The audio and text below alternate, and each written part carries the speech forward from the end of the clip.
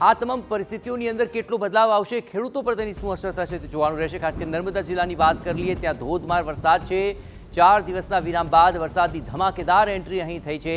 રાજપીપળા, સાગબારા, ડેડિયાપાડા, તિલકવાડા તાલુકાની અંદર વરસાદની હેલી વરસી રહી છે.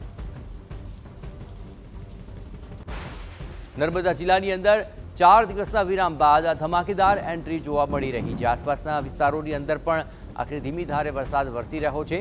તો સાર્વત્રિક રીતે નર્મદા જિલ્લાની અંદર ધોધમાર વરસાદ વરસ્યો છે અને આસપાસના વિસ્તારોની અંદર પણ વરસાદી માહોલ છવાયેલો છે.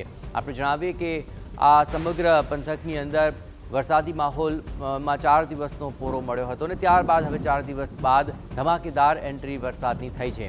આસપાસના વિસ્તારોની અંદર, જેમાં ખાસ કરીને ડભોઈ રોડ, કરજણ આ તમામ બાબતોમાં અહીં વરસાદ સુકન્યાળ સાબિત થયો છે.